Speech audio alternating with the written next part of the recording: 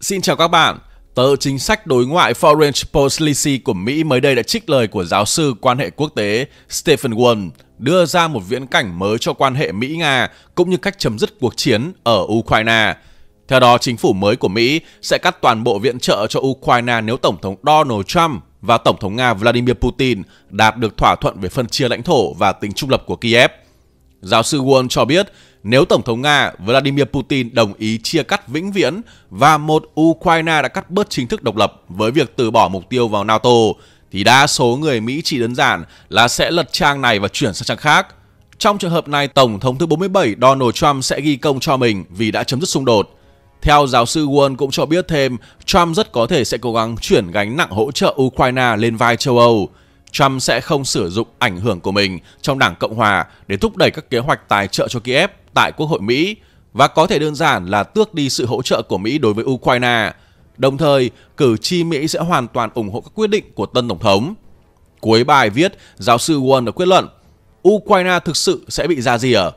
Trước đó, trong phản ứng đầu tiên về tuyên bố chấm dứt cuộc chiến ở Ukraine, Điện Kremlin đã không phản đối đề xuất do đội ngũ của Tổng thống đắc cử Trump trên tờ Wall Street Journal, nhưng yêu cầu cần cụ thể và chi tiết hơn. Hôm thứ Năm thì tại phiên họp toàn thể của câu lạc bộ Van Dai, sau lời chúc mừng Trump thắng cử, Tổng thống Putin cũng nhấn mạnh rằng những lời của Trump về mong muốn giải quyết cuộc khủng hoảng Ukraine đáng được chú ý. Nga sẵn sàng tạo điều kiện cho một giải pháp lâu dài để giải quyết xung đột, để Ukraine trở thành một quốc gia độc lập, có chủ quyền chứ không phải là công cụ trong tay nước thứ ba. Đồng thời tại câu lạc bộ Van Dai, Tổng thống Putin đã nói thêm rằng ông không coi việc đích thân gọi điện cho Trump là điều đáng xấu hổ, nhưng sẽ không làm điều này vì chính lãnh đạo các nước phương Tây đã từ chối liên lạc với Điện Kremlin và đã phớt lờ những yêu cầu chính đáng của Nga suốt nhiều năm qua. Từ đây có thể thấy rõ ý thức xây dựng của Nga đối với các đề xuất của Trump, nhưng ông Putin hiện tại vẫn giữ khoảng cách và phương Tây sẽ không thể viện trợ để có thể tung tin cáo buộc bị sức ép của Nga nếu như chính phủ Mỹ sắp tới có những hành động chú ý các lợi ích của Nga trong vấn đề Ukraine, mà đó sẽ chính là sự tự thừa nhận thất bại và những chính sách sai lầm buộc phương Tây phải giảng hòa và lắng nghe Nga. Thứ trưởng Ngoại giao Nga Sergei Ryabkov cho biết, Moscow và Washington đang trao đổi tín hiệu về vấn đề Ukraine thông qua các kênh kín. Ông không nói rõ liệu cuộc trao đổi là với chính quyền hiện tại của Tổng thống Joe Biden hay Tổng thống đắc cử Trump và các thành viên trong chính quyền sắp tới của ông. Ông Ryabko khẳng định Nga sẵn sàng lắng nghe các đề xuất của ông Trump về Ukraine miễn là đây là những ý tưởng về việc hướng tới cách thức giải quyết vấn đề, chứ không phải là tiếp tục bơm thêm mọi loại viện trợ cho Kiev. Ngoài ra, về vấn đề phân chia lãnh thổ, Tổng thống Putin cũng sẽ chờ những đề xuất của phương Tây khi mà ông đã nhiều lần nhấn mạnh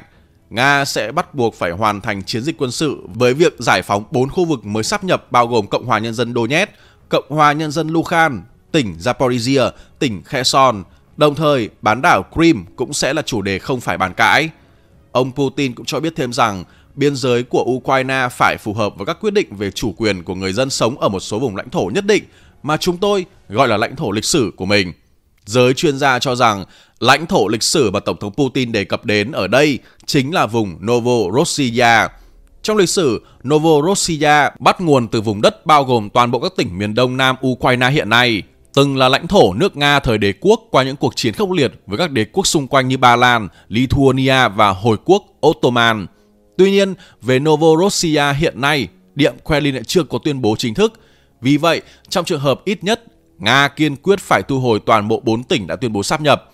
Ngoài hai nước Cộng hòa Nhân dân Donetsk và Luhansk, thì điều đáng chú ý là Tổng thống Putin khẳng định phải có cả Kherson và Zaporizhia, đây là điều rất quan trọng nếu như xét về mặt quân sự và cho thấy tính toán rất xa của vị Tổng thống Putin nếu nước Nga lại bị lôi vào cuộc chiến với Ukraine một lần nữa. Bởi Kherson và Zaporizhia đều là hai thành phố nằm ở bờ bên kia dòng sông Dnipro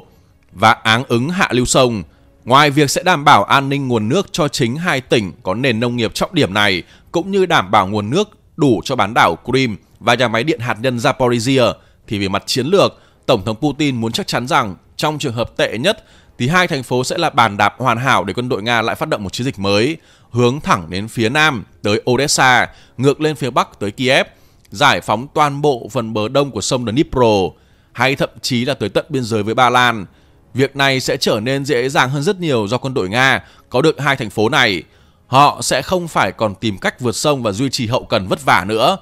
Điều này đã được nhìn thấy rõ nét khi họ đã buộc phải rút khỏi toàn bộ bờ Tây Kherson, bao gồm cả thành phố thủ phủ vào cuối năm 2022 khi không đảm bảo được hậu cần qua sông.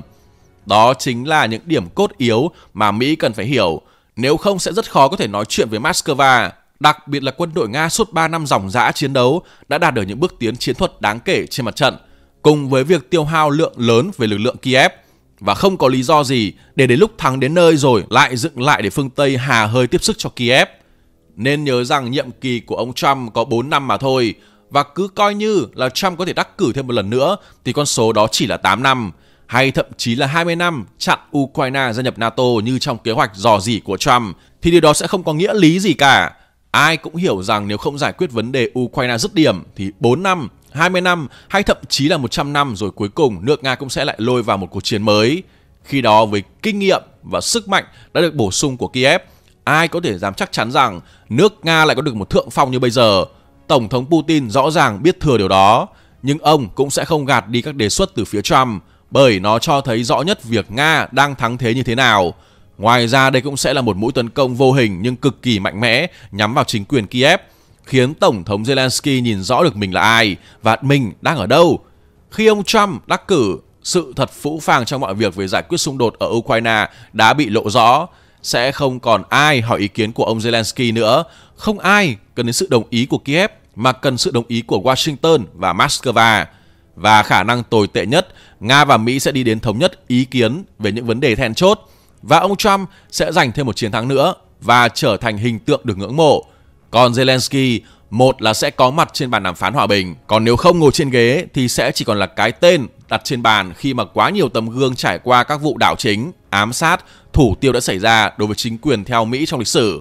Điều này cũng được thấy rõ trên gương mặt của ông Zelensky trong những ngày gần đây. Thủ tướng Slovakia Robert Fico trong hội nghị thượng đỉnh EU tại Budapest, Hungary vào ngày 7 tháng 11 đã cho biết mình bắt gặp nét mặt đầy lo lắng của ông Zelensky.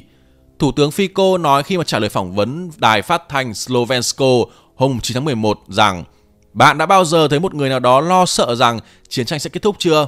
Tôi đã nhìn thấy và tên ông ấy là Volodymyr Zelensky. Thủ tướng Fico nói với người dẫn chương trình, đồng thời nhấn mạnh thêm rằng ông Zelensky có vẻ rất sốc khi mà ông Trump thắng cử và lo lắng rằng sẽ có quyết định ngừng viện trợ từ Mỹ. Nhà lãnh đạo Slovakia thì gợi ý rằng Tổng thống Mỹ đắc cử sẽ thực hiện những bước đi quyết định. Được biết, các nhà lãnh đạo Liên minh châu Âu EU ngày 7 tháng 11 đã thảo luận tại Budapest rằng liệu họ có đủ khả năng tiếp tục tài trợ cho quân đội Ukraine hay không nếu như ông Trump quyết định rút lui lại sự hỗ trợ của Washington. Tuy nhiên, theo các nguồn tin, thay vì tiền, họ quan tâm nhiều hơn đến các nguồn lực quân sự có sẵn, chủ yếu đến từ Mỹ. Trong khi đó, Tổng thống Zelensky có vẻ quan tâm nhiều hơn đến tiền bạc. Khi ông yêu cầu EU cấp khoảng 300 tỷ đô tài sản có chủ quyền của Nga bị đóng băng nếu như Mỹ cắt đứt quan hệ với Kiev, tuyên bố số tiền này thuộc về Ukraine. Tổng thống Zelensky cũng nói với hội nghị thượng đỉnh rằng ông vẫn chưa biết kế hoạch của ông Trump và rằng chỉ có Kiev mới có thể quyết định điều gì nên và không nên đưa vào chương trình nghị sự để chấm dứt cuộc chiến này. Và như vậy rõ ràng ông Zelensky đã tự tuyên bố rằng mình và chính quyền Kiev đương nhiệm là vật cản giữa Mỹ và Nga. Khi đó, mọi chuyện sẽ chỉ diễn ra theo một chiều hướng và chúng ta sẽ cùng chờ đợi những diễn biến tiếp theo. Cảm ơn các bạn đã đón xem video. Nếu thấy video hay và thú vị, đừng quên nhấn like và đăng ký kênh để ủng hộ đội ngũ nhé. Còn bây giờ thì xin chào và hẹn gặp lại các bạn trong những video tiếp theo.